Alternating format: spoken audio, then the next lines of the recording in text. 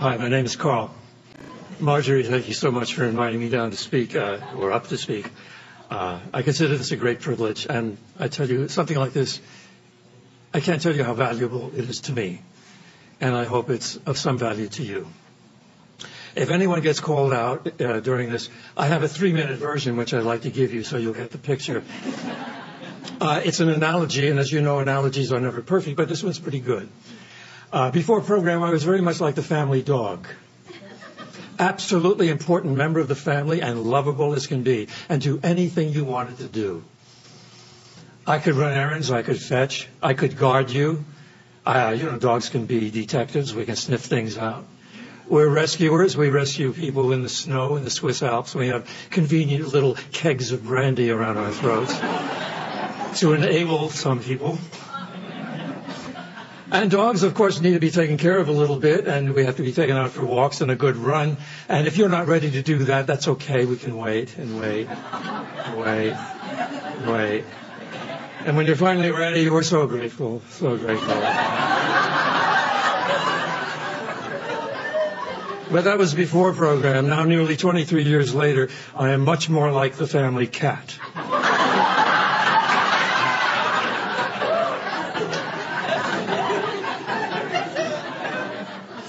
I'm just as lovable and just as important member of the family as that damn dog. and I love you and you love me. I share my life with you and you share your life with me. But you are not my life. I have a life.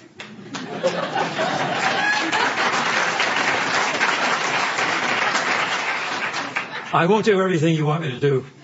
But I'll do a lot of things that I want to do. And if you're in trouble, I can't rescue you, but I'll listen to you. And I'll make you feel better just by listening. And I'll jump into your lap and make you feel good. And I'll put my arms around you. And I'll tell you I love you. And I'll purr. And you'll feel better. But don't ask me to do that when I'm napping. you wait until I get up. And then I probably am hungry and I have to go have a bite to eat. So you just wait a little bit. And after that, you know, I have a drink and I have to wash up, you know. That's what we do. And if it's near three o'clock, you know, I go out the back door and I have to inspect the backyards. I've got work to do out there. They're expecting me. I got mice to chase and I got birds to scare. And there's a nasty dog about four houses down. I give him obedience lessons every day. and when I come back, maybe your problem will be all solved and we won't even have to bother with it.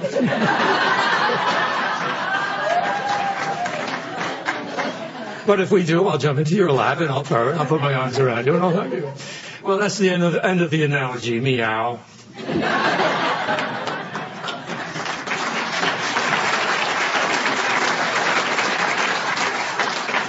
and now for the longer version. About 20 years ago, I was stopped for speeding somewhere in Alabama, and I was sitting in the front seat with a cop, and he was writing up my ticket, and he said to me, you know how fast you were going? I said, yeah, about 85. And he said, well, the radar said 83. I said, okay, fair enough. And he said, we never stop people here unless they're going over 79. I said, you know, I really wish I had known that, you know. And then he said, uh, so why were you going so fast? I said, because I thought I could get away with it. And this guy froze. He said, uh, nobody's ever said that to me before. ever. He said, if I could tear up this ticket, I would. He, I, I can't. I said, it's just my luck, but that's okay. And he said, so what makes you so honest? And I said, and I thought for a minute, and I said, you know, I've been in a program called Al-Anon for about two years, and I'm pretty sure that's where it comes from. He said, what is that, Al-Anon? So I gave him, said a little something, they had another question, and I said a little more. Another question, some more, more. I spent 20 minutes talking to this cop about Al-Anon and AA.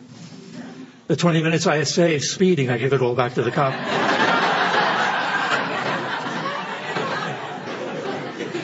and I knew that he was not asking those questions out of idle curiosity.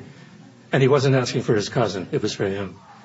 And he knew that I knew, and I knew that he knew that I knew. And well, we never said anything. We're still doing John Wayne, you know. And we got finished finally, and he handed me the ticket to sign off on. And I started to, and I said, my gosh, you got me down here for 61 miles an hour. I, he said, yeah. He said, the reason for that is you see the traffic lines here are just incredibly steep. And he said, it would have cost you about 360 bucks. And he says, this way, it's still going to cost you 90. He says, that's the best I could do. And I said, well, thank you. Thank you very much. I really appreciate that. And he said, thank you. I got into my car. He waited till I got started, did a big U-turn, waved to me from across the street, blew his horn. It was like we were old friends, and I waved back and blew my horn like we were old friends. And I got back on the road and continued on my way to my destination, which uh, was New Orleans. Doing 79 miles an hour.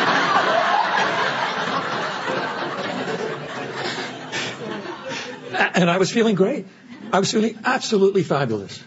And why? Why? Because I've been working the steps, the principles of this program. And when we were wrong, promptly admitted it. Took responsibility for my own actions. Carry this message to others and to practice these principles in all our affairs. And also I'd saved 270 bucks. and before program, uh-uh. I would have been angry as hell. I'd have been screaming up there and say, where was that cop when all those people were passing me? I was doing 85 and they were doing 95 and 105. Where was that cop? What are you picking on me for for $360? I'd have been going on and on like that. I would have been bent out of shape and angry as hell. But the program takes my bad decision to be, you know, to speed and turns it into something worthwhile. Some good comes out of this. I even get to feel good about myself. and it starts out, you see, this program, it, it does what the alchemists could not do in the Middle Ages. It takes lead and turns it into gold. It takes my bad behavior and turns it into some good comes out of it. I like to think that there's a cop somewhere in Alabama who's sitting at an Al-Anon meeting saying, you know, it's funny how I got here. Gave a guy a ticket once. I don't know if that's true or not, but, you know, it's not unlikely. Not at all. Now, about in the 90s, uh, a woman in Al-Anon asked, said something to me, and I immediately relapsed as if I had never been to a meeting before in my life. She said, Carl, I have a situation at work, and you are the solution. Uh, 911, this is Carl. How may I help? Uh, what was wrong with me? I don't know. But a quick check of my college background and my credits and a quick exam, and I was suddenly a counselor in anger management. Hello. With absolutely no experience. And I was going to work for this lady. I was going to work with men who had been convicted of domestic violence. And instead of going to jail, they came to anger management once a week for an hour and a half for 52 weeks, and they paid for it, and they didn't want to be there. Well, later on they did, but they didn't want to when they started out. And they got it wiped off their records. These were not the worst cases. The worst cases went to jail. But uh, the woman said to me, we got a lot of newcomers here. You know, with newcomers, you know, they're in denial. It's not their fault. It was the wife's fault or the girlfriend's fault and all that. And we got to get them over that denial. And they need a man as a counselor. This lady has left and I decided they need, and you're the guy. And she got me so enthusiastic about this. Uh, well, you know what Al-Anons are like. If anything is worth doing, it's worth doing to perfection. The alcoholic, if anything is worth doing, it's worth doing to excess. But if you think about a human being and perfection, you know, perfection is a little excessive. And so really the other side of the coin of the alcoholic, I mean, we're crazy too without drinking. But I was going to be the greatest counselor and management that Southern California had ever seen. Why one day there'd be a little statue, perhaps a modest statue up in Sacramento. He wiped out, uh, you know. And that was a week before, but two days before, the woman got together with me and she gave me the case histories and I looked at them and I thought, how can I talk to these guys? They're all so different. They uh, range in age from 19 to 70. They were all walks of life. You name the race, that was it. National, ethnic background, so different. Here I am, WASPy. How am I going to talk to some of these Latino guys? How am I going to talk to a day laborer? I had a college professor there. I had guys with two strikes on him. And I'm starting to get worried. And because, uh, you know, that first encounter when you meet them, if you don't connect with them, nothing happens. You may lose them. And it's important to get through to them because domestic violence, once it starts, doesn't go away by itself. And then she added and she says, oh, there's one guy there not for domestic violence. Oh, great. His parole officer wants him to go to anger management. I said, parole, what did he do? Uh, well, he was in prison for 13 years. I, I said, in prison for 13 years, what did he do? She said, well, you know, uh, grievous bodily harm, manslaughter, and of a violent temper. And I, I'm going have to talk to these people. I'm going to have to make a connection with these. I'm going to, you know, help them. I've never done this before in my life. And I thought to myself, this is another fine mess you've got me into, Stanley.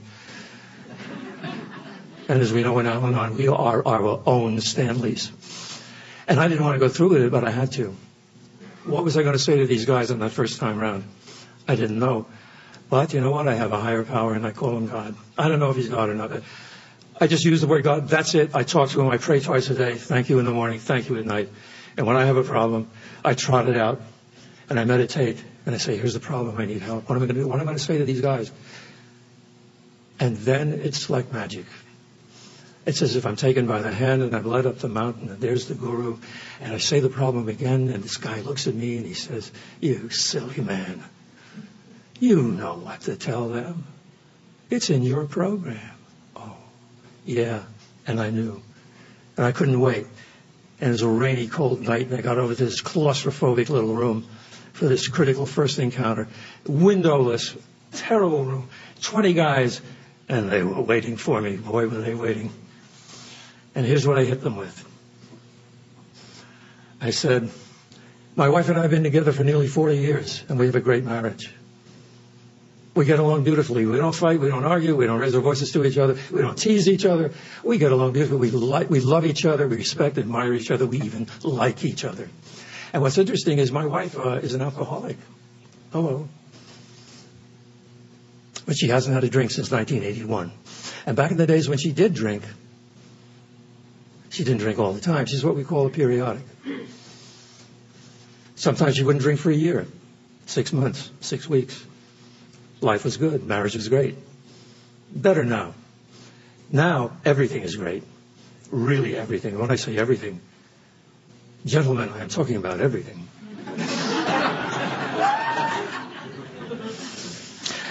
but then when she did drink, you know, it wasn't always so hot.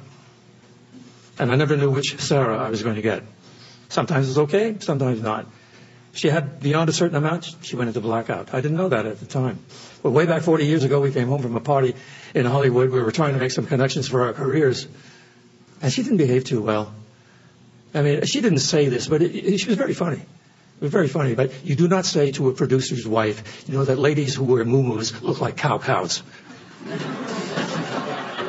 I mean, this is funny, but you don't say it to the producer's wife, you know, who might have a shot at maybe getting a job from him. No.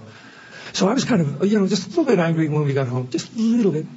And fortunately, she went into bed, and I just put on some music, had a glass of wine, to calm down. She came back into the room, and she starts saying on me as if I had done something wrong. I hadn't done anything wrong. I didn't know she was in blackout.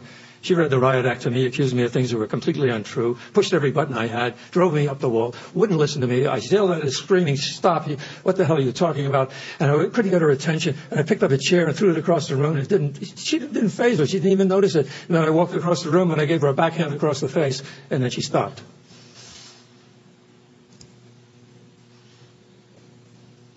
And that was the first time in my life that I'd ever hit another human being except in self-defense and except as a kid. That was maybe once. And I swore that would never happen again. She didn't know what happened. She saw a red mark on her face the next day. And I told her what happened and I apologized. She didn't know what she'd said. I swore it would never happen again. So six months later, when it happened again, I realized that once the animal is out of the cage, it's hard to get it back inside. And I said, this better never happen again, but it happened again. And that was it for me. And I went off and I found a counselor. It turned out to be a psychiatrist. You know what, guys? He cured me in one session. Never hit my wife again. She never had to worry about it ever again. Cured. One session. Beautiful. I told him what happened. I told him about all the buttons he, she pushed. Why I lost it. This, that, and the other thing. He said, yeah, pretty tough, pretty bad. Yeah. He says, well, I'll work with you. He said, I'll give you two alternatives. What do you want to be, a bully or a real man? I said, what are you talking about? He said, you lost it with your wife. You're bigger and stronger than she is. Way down deep, you know that if you lose it, you'll get away with it. He said, but if I bring in a guy here next week who's seven feet four and 350 pounds, and he wraps a hand around your throat, and he could throw you against the wall and break you in half. I get him to push all your buttons and get you to the point where you are just going twice as mad as Sarah ever made you. At what point are you going to lose it and all off and hit him? I said, I get the picture. And from that point on, my wife never had to worry about me hitting her again because he said, real man or bully? I said, real man. Now, I got just as angry again in the future, many times. But this guy showed me how not to act it out, what to do with it. That little thought experiment was right there. I didn't want to be a bully. And every man in this room has at one time or another in his life been a bully. And that's good news for you guys because it means I know what I'm talking about. And that's good news for you guys twice because it means I know what you're talking about. So you want to work with me? Let's work together. And if you don't, shh. And we started to work together. Within a month, I had four guys in Al Anon. The group was cooperating. They were working beautifully. One guy was a holdout. He was from a foreign culture, I won't name it, where wife beating and child beating was a national sport. And he didn't want to understand it. The group got on his case and said, you don't live there anymore. You're an American now. And even he started to come around. And that ex-convict finished up his year. Yeah, I had him for three months. He did his exit exam. He graduated. He came back to me and he said, Carl, thank you. I've never listened to another man before in my life. My old man, my uncle were drunks. The parish, the priest in the church was sleeping with half the women in the parish. And who wanted to listen to them? He said, but you came in that first night and you blew me away. He said, you blew all of us away. We were talking about it when you left. And he said, I've listened. And he said, I'm responsible for what I did and for what I do. I don't ever have to do it again. Thank you for giving me my life. And he walked away. I went into my office and I sobbed. Me? Me turn a guy's life around? Me help these guys become real men? No, it wasn't me. Oh, it was this program. It was these steps. I shared part of my fifth step with these men. That's all I did. One drunk talks to another. One Al-Anon talks to another. One domestic violence talks to another. I learned that in this program. If I hadn't done a fourth step, I never would have had a fifth step. If my sponsor hadn't made me put my name on the list and forgive myself for that behavior years earlier, he said, you can't hold yourself hostage for that. You can't go back and change your past. But he said, but you had the guts to change your future. Give yourself credit and let go of it for God's sake. And I did. And that meant I had no secrets. If we were as sick as our secrets, I didn't have any secrets from these guys or from you or from anybody. And that's the magic of the program once again out of my rotten behavior 40 years earlier, I get to feel terrific about myself. This program takes that rotten behavior and turns it into something worthwhile. Lead into gold, the magic of the program. It says somewhere in the big book, no matter how far down the scale we have gone, our experience can be of help and benefit to others. And so it was. That, those are my miracles. And I've got more my first meeting, they were talking about the steps, and I didn't want to, if I would have heard a guy talking about this stuff, I said, yeah, that's fine, that's fine. What's it got to do with living as a drunk for 25 years? You know, because I couldn't make the connection early on. My wife stopped drinking, but she escalated into pills, and at one point she, uh, at the urging of a psychologist who said she would treat her if she got uh, rid of all the uh, medication she was taking. And for six years, I was in the dark again, in denial, and getting screwed as usual, not knowing what was going on. But at least she didn't fall down for six years. That was okay. And when she was on speed, man, could she do housework? Unbelievable.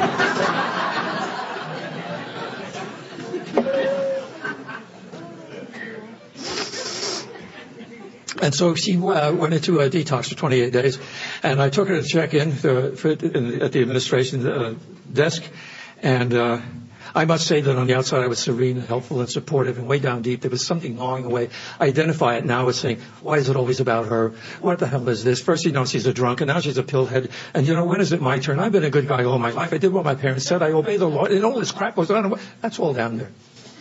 So you might say that I was a little bit angry. But on the outside was cool, cool Carl, you know. And she's walking down the hall and they're tottering to 28 day lockdown.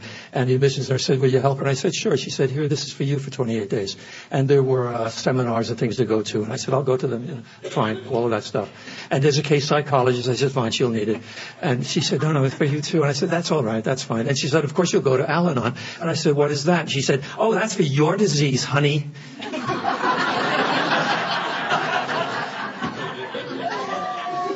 Oh, I was already feeling so terrific anyway. The, the conversation after that can only be described as brief and, and spirited. So I backed, I got into the elevator and I turned around as the doors were sliding shut. She said, go down into the basement and turn left. There's an Al-Anon meeting in progress.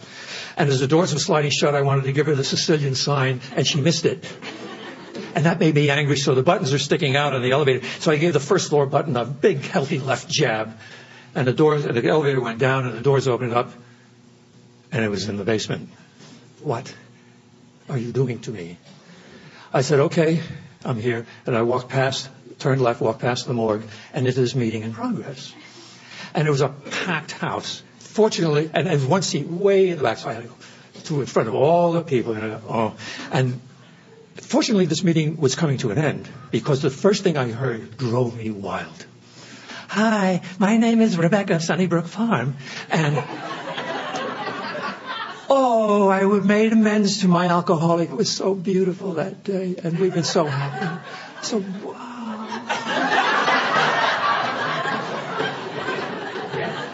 And I listened to some more of his drivel and I wanted to get out there, but I didn't want to go in front of all those people so I waited and waited.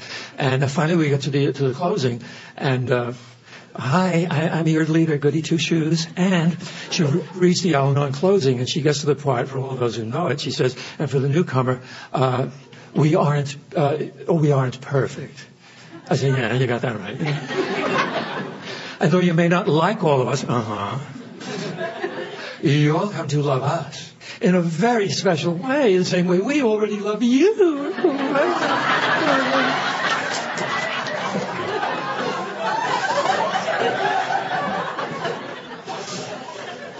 So we, so we, stood up and we, we said the Serenity Prayer, and I tried to get out, and there was a hammerlock from the left and a, and a half Nelson from the, from, from, from the right. You know, it, it, you know, this is the Al-Anon hug. Don't let the newcomer escape and especially a guy, you know. And I said, no, no, no, no, I don't need any help. You know, my wife doesn't drink anymore. She's up there, no more pills. She said, here's a newcomer. I don't need, I don't, they keep coming back, keep coming back.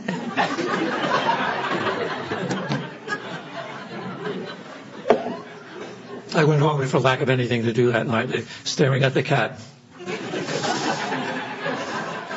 She made me feel guilty. I don't know. I read Understanding Ourselves. They might have just said, Dear Carl, and they put my life history right there.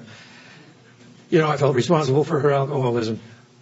I got angry at her alcoholism. I blamed myself. You know, I, I counted the drinks. I did this. I did that. I did all, all the wrong things for the right reason. I loved her.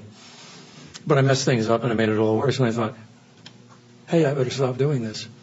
I can't keep doing this. First day. I'm like the drunk who was told that you can't drink anymore because if you do, you're going to die in six months. And he says, okay, I quit. They're pretty rare. But I'm the, Al-Anon counterpart. Now, I didn't get into the steps or anything like that, but I got out of her face. I was, actually, it was in step one. When it says we're powerless over alcohol, it translates to this Al-Anon as mind your own business, stay out of her face. And I did. I started it from day one. And it changed our relationship. And it got better and better the more and I stayed out of her face. You see what alcohol brings out the worst in the alcoholic and the worst in the people around them. And when you have an alcohol, you're living with an alcoholic, and when they're drinking, they behave like a two-year-old brat.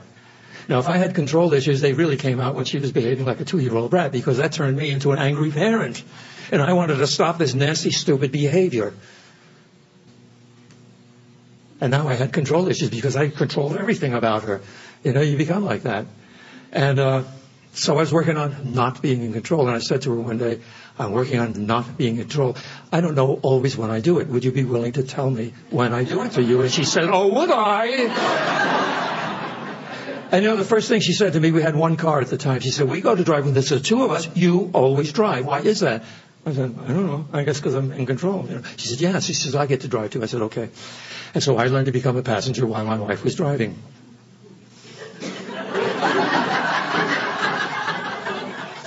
and Sarah drives differently.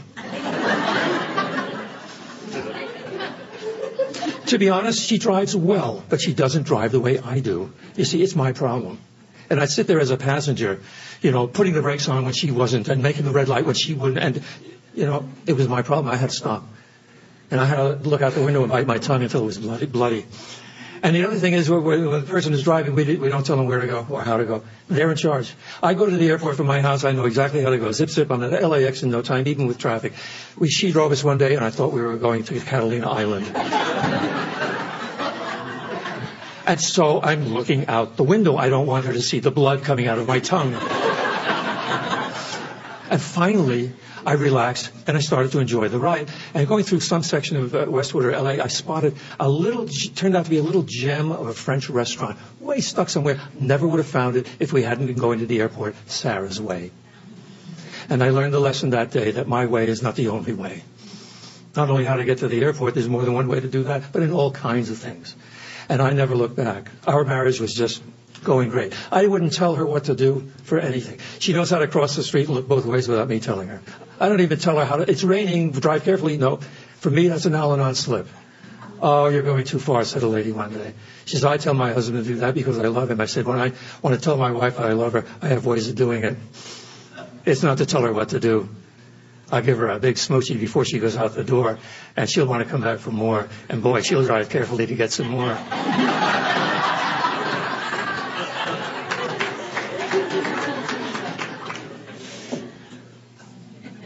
so about six months into the program, I'm ready to leave. My Al-Anon condition is what I call it, was hammered into submission, and our marriage was great. And if we'd have continued that way, it would have been fine. Millions and millions of marriages would love to have what we had, even with that. But I happened to bump into the psychologist on occasion, and uh, she had me into a room, and we chatted a little bit, and funny things happened. Uh, you know, it turned out my childhood was a little dysfunctional. I hadn't realized that. Uh, is there anyone here who comes from a non-dysfunctional family? Uh, if so, would you kindly leave the room? I thought my childhood was normal as anybody else's, but the I don't want to belabor it, but the critical part was between the ages of five and about 12. And my mother, as it turns out, was an untreated Al-Anon. Uh, her, her father was a raging alcoholic. And uh, my dad grew up with three sisters and his mother. His dad died when, he, when my dad was about three. And he deferred to, to my mother. And she, this rager, uh, between in those ages, I don't know what what happened, what it was, but I was loved, I was nurtured, I was cared for, I was given everything. And if I did something wrong, I got a whack across the face, I got screamed at, yelled at, or the clothes were stripped off, and she had my dad beat me with a leather belt, even to the point where neighbors were screaming, "If that doesn't stop. We're going to call the cops. And this kind, and if I was perfect, it was fine. She wanted perfect, I tried to be perfect. And that was the problem. I had to look good. I had to find out what was going on. I had to give them what they wanted. And I did. I tried to be the best little kid in the state of New Jersey. And unfortunately, I took that kind of relationship outside just for my parents, I, my teachers too. I wanted to please them. I did whatever I was told. It all worked okay in education, you know. I sat there quietly. I did my work. I, I aced everything. I learned a lot. I had enjoyed school. It was great. Uh, I did that with everyone I met. What I was doing was soliciting their approval. I, would march to their drummer because as a child, as a child, that was my weapon. That was my defense. If I got them to like me and approve of me and validate me, then they wouldn't explode and beat me up. So I became very good at that. So I had to find out what was going on, and then I could make the move. So you you took the lead, whether you knew it or not, and then I could I could take this make the second move, and that's how I was with women. If I saw a little glimmer of green light, then I could proceed. But I didn't march in and barge in on my own. When I was a, if I dated your teenage daughter, she was safe with me as long as she knew her she had boundaries. And unfortunately, where I grew up, all of them had boundaries. And so it took me, well, you know, I won't go into that. And so when I met Sarah, uh, actually I met her six months before I met her. I saw her in a movie. And she blew me away off the screen. I said, my God, what a great actor. That's wonderful. She's incredible. Wow. Six months later, I dropped my picture in a theater somewhere, and they called me back, and I auditioned, and I got the part. And I got a small part in this play on Broadway for my very first job and I was understudying a Canadian actor named Bill Shatner. And uh, when he was out for about a week, I went on. I got to appear on Broadway, my very first job.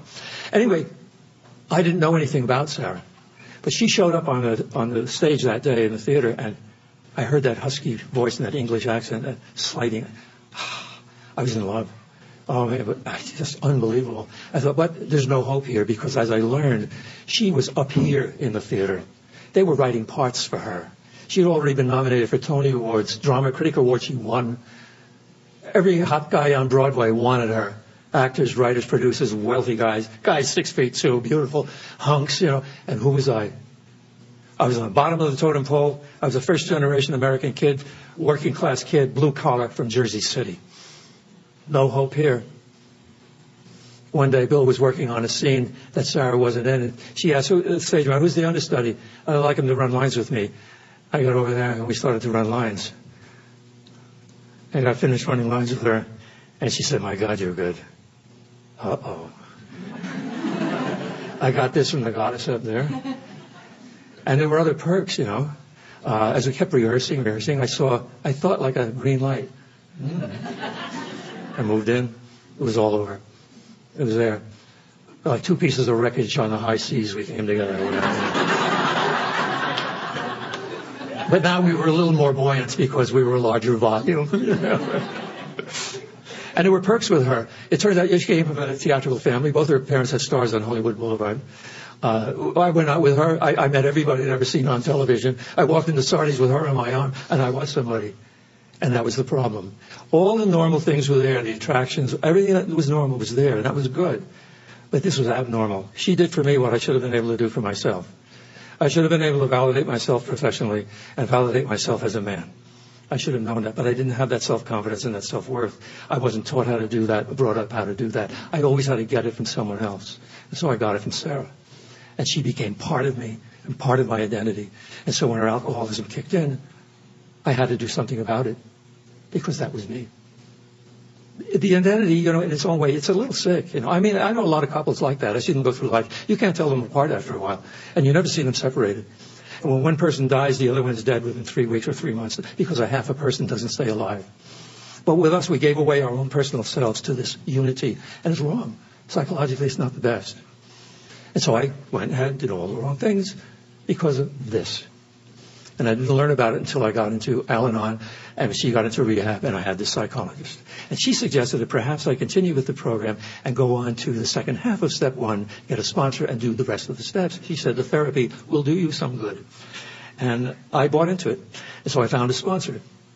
And uh, he began to work with me right away. He, first thing he said to me, he said, Carl, wherever you shave on that mirror, put a little sign. You are looking at the problem. Said, okay. And I did that. And he said, and get uh, 12 by 12 and start working on the first step. I said, first step. He said, you know, Richard, I got to tell you, I'm panicked about the fourth and the fifth. I don't know, I don't know how I'm going to do that. He says, I have a solution for you to get over the panic. You focus on step one. Oh, okay. You know, this was a simple man. I'm complicated. He brought me down to earth. You see, when I first heard things like uh, first things first, stay in the moment to do the next indicated step, I thought, what about that? Yeah, stupid uh, slogans these people have. It's crazy. I like something more complicated. You know, you go to the guru and you say to him, what is the secret to a happy life? And he says, ah, did you have breakfast this morning? Yes. Then wash your bowl. Oh, wow, that's deep. I get that. Yeah, man. What does it mean? It means first things first, stay in the moment, do the next indicated step. So I found the right guy to be my sponsor. And he said to me, he said, Carl, you're probably your own worst enemy. I said, no, my first wife is still alive. he said, ah, we're going to have fun doing the steps. And we did. And by the time I got through steps four and five, I felt different. I asked myself the question one day, what kind of people will do a searching fearless moral inventory? Of themselves and share it with another human being. You know what the answer is? People like us. Decent people who are trying to become better people.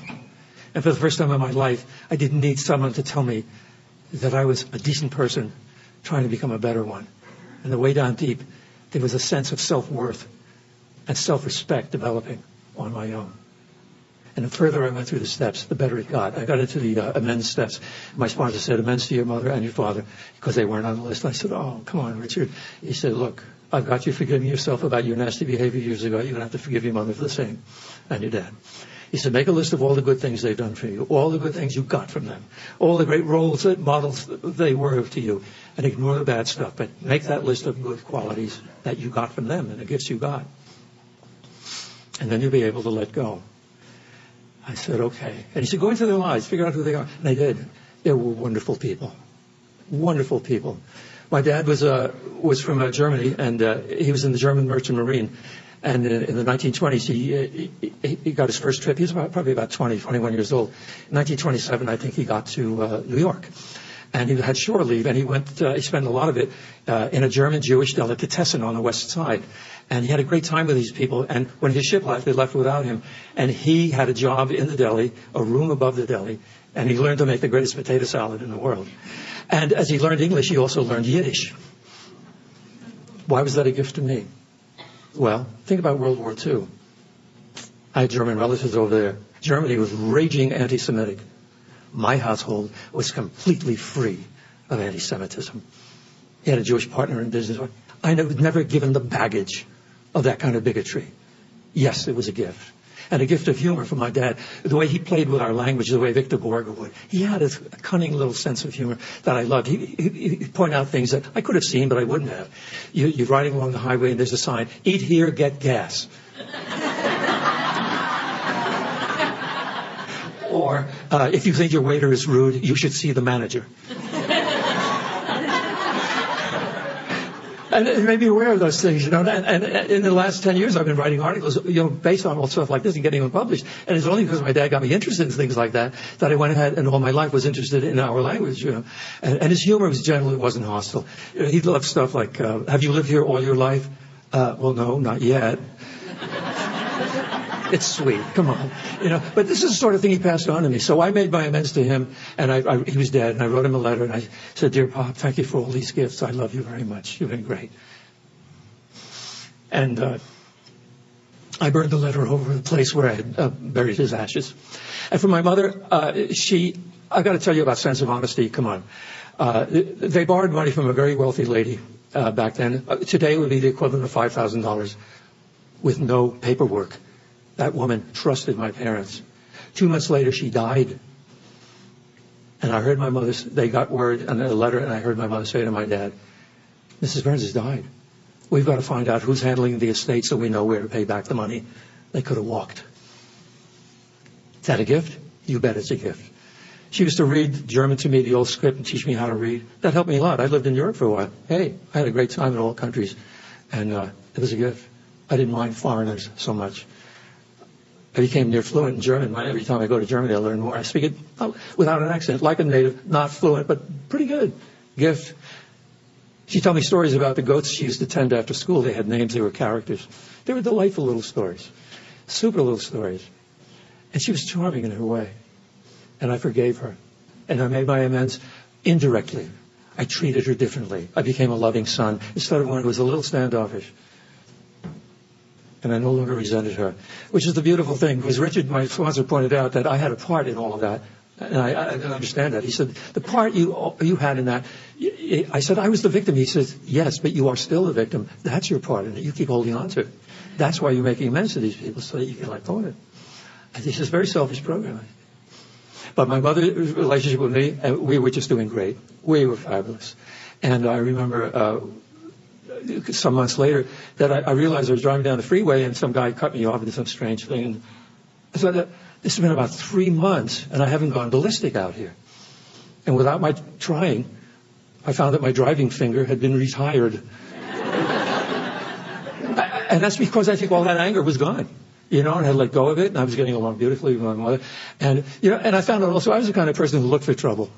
I mean, I like to find people doing stuff wrong because, you know, I, I could put them down. I could feel superior to them. I put them down and made me put me one up. And I reminded myself, uh, did I catch them doing something wrong? Yeah, that was great. I love that. I reminded myself of the lady who lives in the high rise in the big city. She calls the cops and she says, I want you to send someone over because there's a guy across the way and he stands in the window and he's there now and he has no clothes on. I don't want to tell you what he's doing. It's very upsetting. You should come. Hey, calm down, lady. We'll send a cop. The cop comes over, knocks on the door. She says, come in. Is he there now? Yeah. He's right out that window. Okay, where? She says, you know, the, across the way, the window in the corner, the top right hand corner. The cop looks out the window. He says, I don't see anybody there. She said, where are you looking? Said, he says, next door. She says, no, no, no, look across the roof and that, that other building sticking up over there. Oh, that one, yeah, the right hand corner. Yeah. Yeah, I see a guy standing there. Yeah, he probably doesn't have any clothes on, but I only see down to a, to about you know mid chest or something. She says, "The chair, the chair, stand on the chair."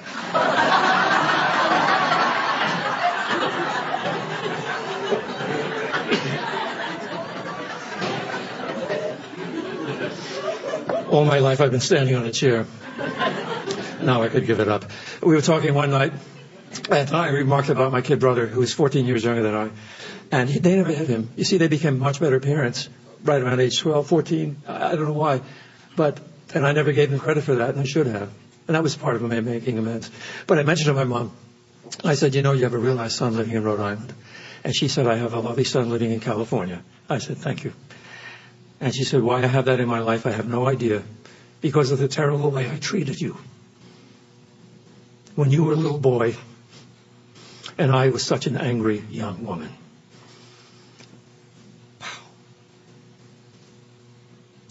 In a flash, I realized a couple of things. All her life, she had felt guilty. And that's why she was so needy and demanding of me to write, write, write, stay in touch, stay in touch. She needed to be reassured. She'd been feeling that guilt all her life.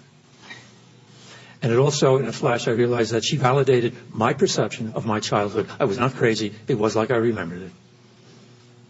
But now, because of my sponsor in this program, I was able to say to this woman, Mom, I've forgotten about all of that. What I remember are all these wonderful things I got from you and Dad. And I had the list, and I could start talking about it and tell her about the goats, about this, about her honesty. And you had two human beings on either end of the phone weeping. And I was free, and she was free.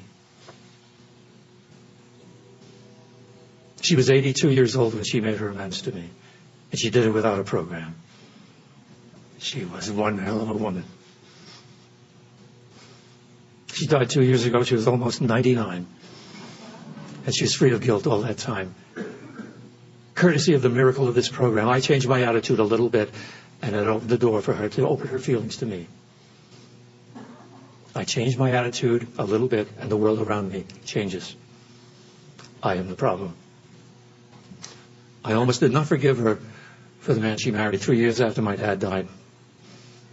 Not because she married, but whom she married. I didn't like the guy. He was a right wing. He was a retired New York cop. We knew him, and he was a control freak. I didn't realize how bad he was. But my mother was in her needy mood at the time she was marrying this guy, and I figured he'd take her off my hands. Of all this things screaming and hollering about not calling enough, doing this enough, he'd take her off my hands. Wrong.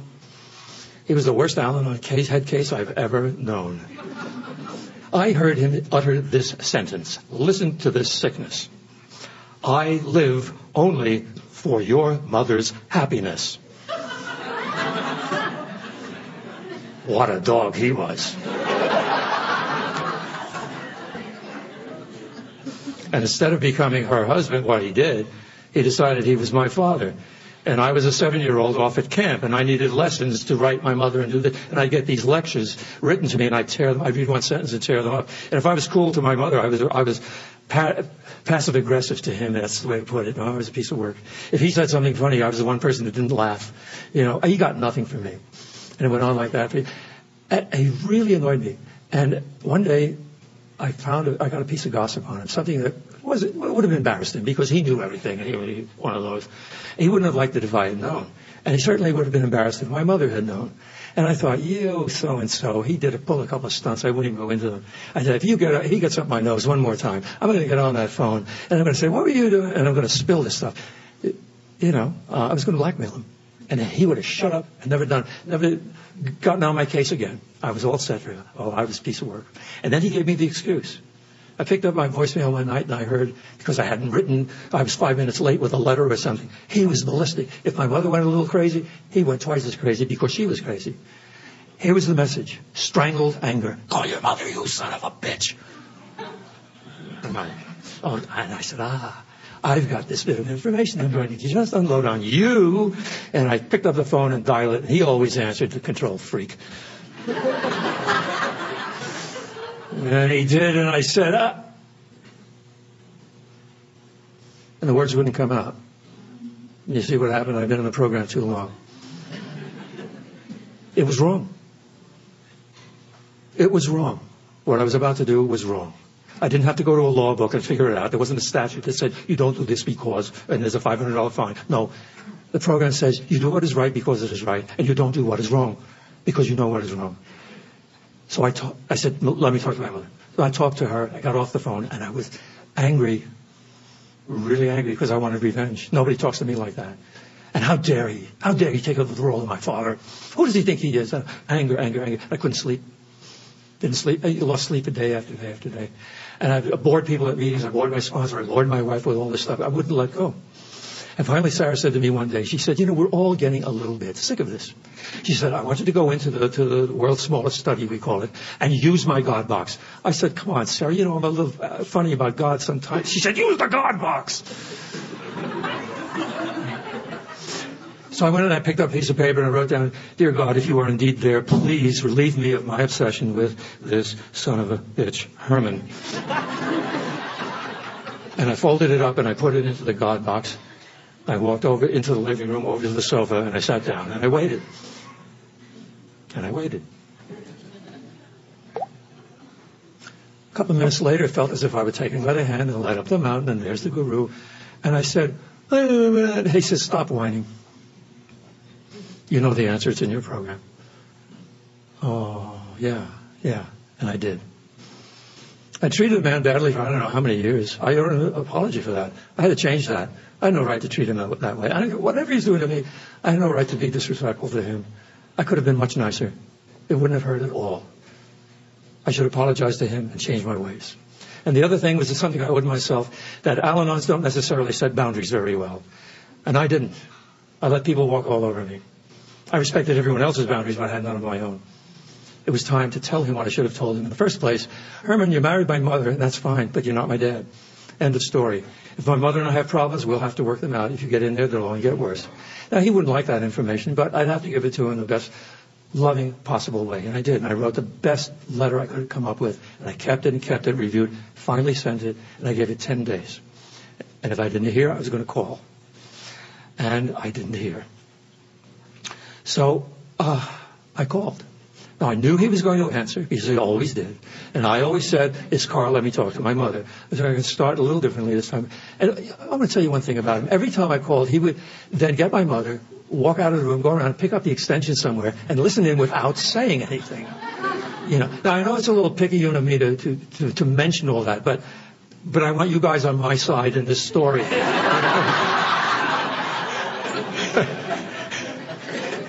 so, I dial, and he answers, and I say, it's Carl from California. How are you, Herman? He says, Carl, hey, I say, yeah, I'm fine. I said, so oh, what's going on? He starts telling me about a horseshoe league he's starting for senior citizens, things like that. And I said, oh, that's great. You know, we have a conversation about five minutes. Never mentions the letter. But hey, we're having a conversation like we never had before. This is terrific. He gets my mother. I hear him go around. He picks up the phone. I don't care. Well, I talk with my mother, have a great conversation. She doesn't mention the letter. But I know because everything's different. It's all so great.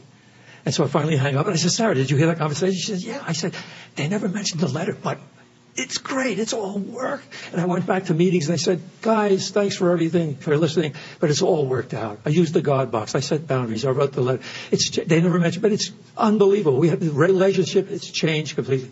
And I wondered one day, would they ever mention the letter?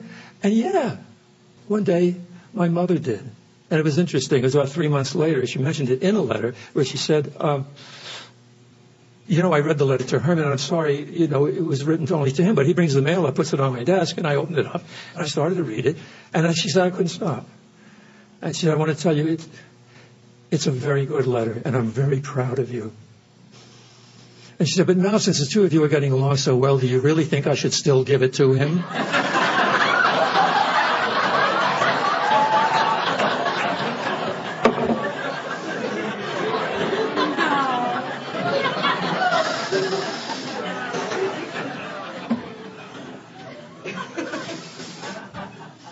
You are looking at my problem. What happened? I changed my attitude this much when he answered the phone. Instead of saying, it's Carl, let me talk to him. They said, hi, Herman. How are you? What are you doing? How are things? That's all. I changed that little bit, and this fascist became a human being. You see, I changed myself, and the world around me changes. Another miracle of the program. About 13 years ago, uh, I woke up and it was a rude awakening for me. Uh, fortunately, there was a spiritual awakening that followed later that day.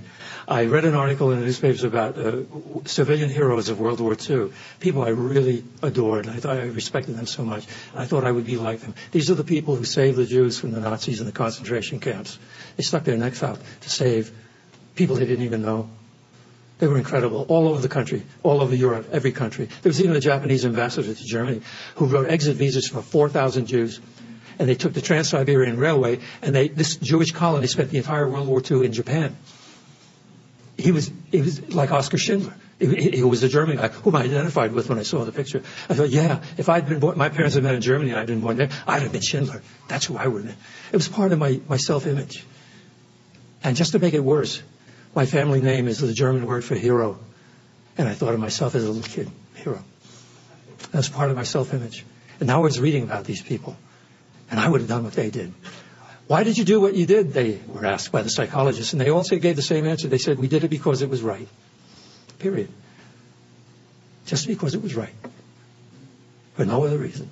And the psychologists wanted to know what else they had in common, that they would all behave in the same way in these circumstances. And they finally found it. It was the way they were parented.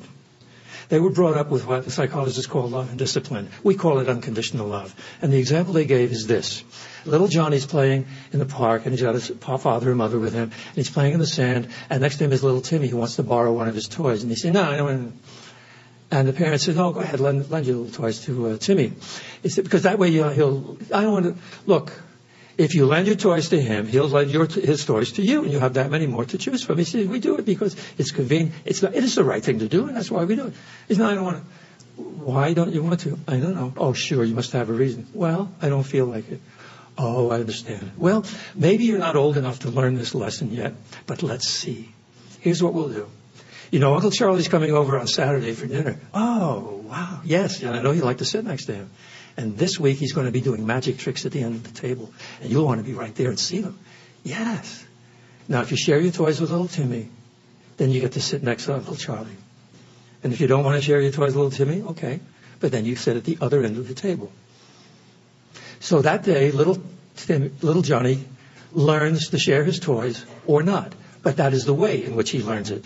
That is love and discipline. He never doubted that his parent loved him. It was never withdrawn. His parents showed respect for his feelings. His parent gave him power over his own life.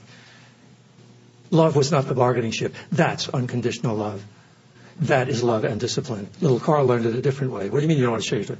Why don't you don't want to share your toys? You share your toys. I, why? I don't feel like your feelings don't count. I remember that sentence ringing in my ears. It's never left my brain. Your feelings don't count.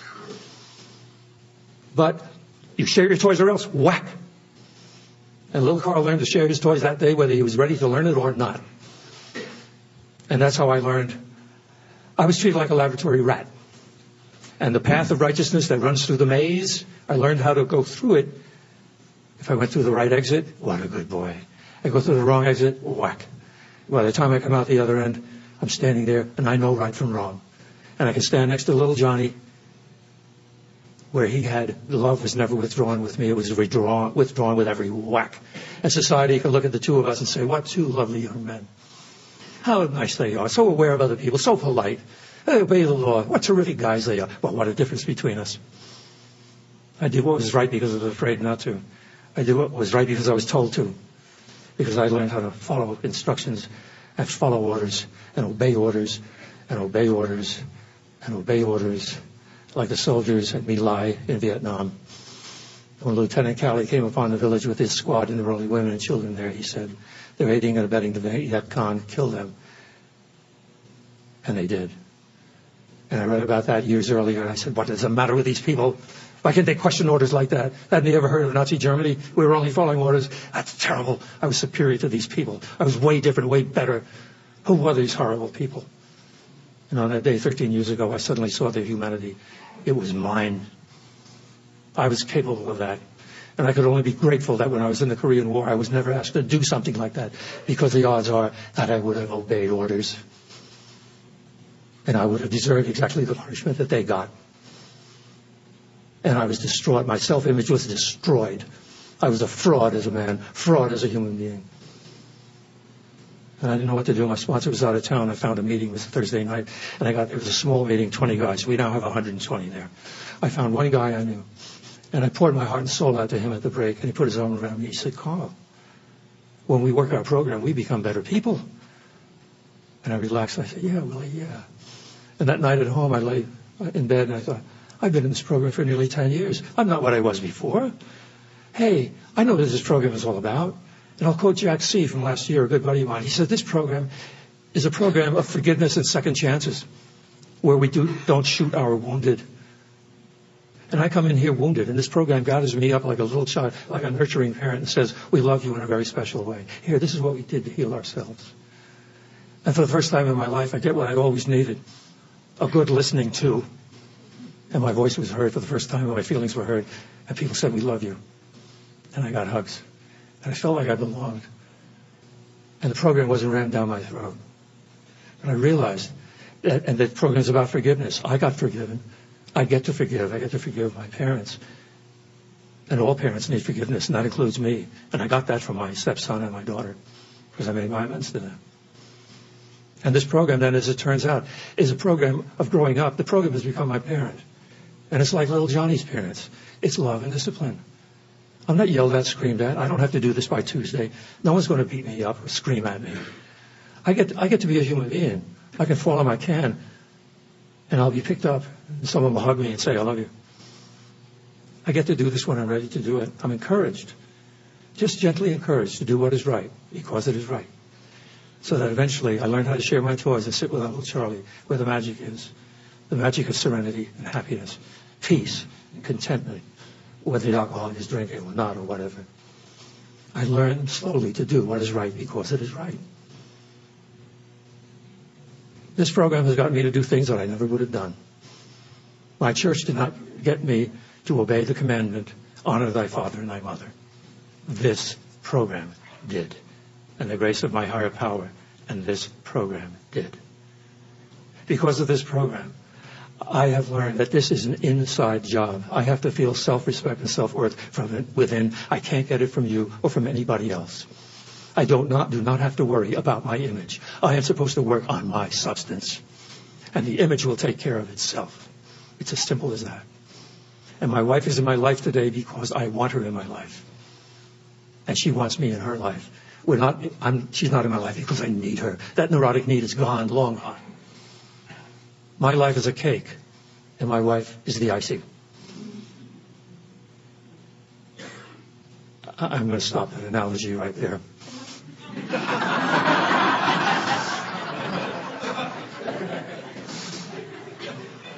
Just as I inherited characteristics from my parents, so will I hope inherit the characteristics of this program. It is its own perfect example of how to behave. There's nothing negative about this program. Have you ever seen anything as humble as this program? There are people, religious philosophies out there who know all the answers and will tell you all the answers for all people at all times in all circumstances, and this program does not tell you answer one. It says, if you put your own house in order, the answers will come. You and I may have the same problem. You'll find your answer, I'll find my answer, and they'll both be right. This program is flexible. I have to learn to be flexible. It doesn't tell me what to do. I shouldn't tell my sponsees what to do. I tell them what I did oh, I might stretch your point and say, well, if I were you, I would think about doing such and such. But you're you and I'm me. That's about as far as I'll ever go. Love and discipline. What it accomplishes is wonderful. This is an incredible program for living. And you think about it, at my age I do, it's an incredible program for dying. You do it the same way. It's life on life's terms, acceptance, day at a time. I used to think I was, you know, the exception. Now I know differently. and that's it. But the other characteristic of the program is kind, loving, and gentle. Then I have to be kind, loving, and gentle too. And if all these characteristics come into me and become part of me, who I am, then I will have climbed the mountain. But I'm a human being. And this program is not about the destination. It is all about the journey. And we're all on that same journey up that mountain different paths, sometimes the same paths, sometimes our paths cross. They cross today. I love this program. I love program people. I'm so grateful to have been asked to speak here today. Thank you again. I leave you with one, one wish for you. As I do with mine, may you and your higher power walk hand in hand